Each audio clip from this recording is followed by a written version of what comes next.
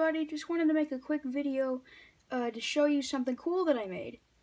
Uh, you may be unfamiliar with the character, but it is a Lego version of Galvatron uh, from the original Transformers the movie. And this is him in his robot mode. I got his little back spike. I tried to make him more purple. I got his like red chest grid thing. I tried to give him a helmet, but it didn't work. He's got his chest plate, he's got his arm cannon, of course.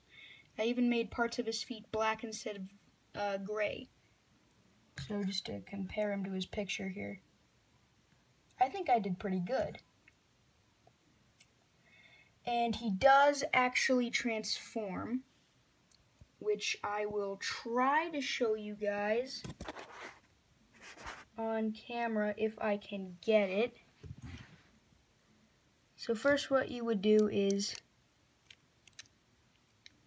you take off, oh god, see since he's made of Lego he's really finicky, but first you would take off the cannon from his arm, oh my god he disintegrated, he absolutely disintegrated. I don't think I'm going to be able to transform him on camera, but I will I will transform him anyway and then you would put the cannon on a on a peg that's on his head like so. And you would flip up his chest plate like that. You would take off his arms bend them slightly forward like that and then put them on like that put both of them on like that Sorry, just trying to find a picture so I can compare the two modes later.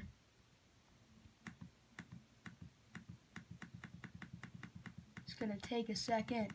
Ah, jeez. I always try to make my videos short and simple, but they always end up something goes wrong.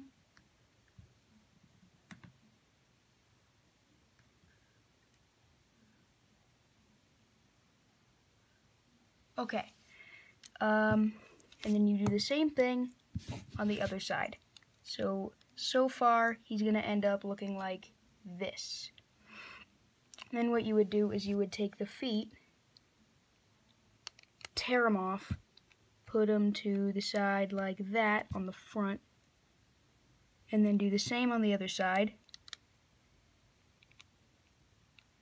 Actually, wait, I messed up a little bit it would end up looking like this once, once both sides are complete. And then you just bend his legs accordingly. Sometimes the waist will snap off. I might make a tutorial on how to make one of these if you want to. Just, if you want me to make a tutorial on how to make this Lego Galvatron, if you're interested, go ahead and comment. Uh, as I said in my last video, I do really like talking to the people who watch my videos.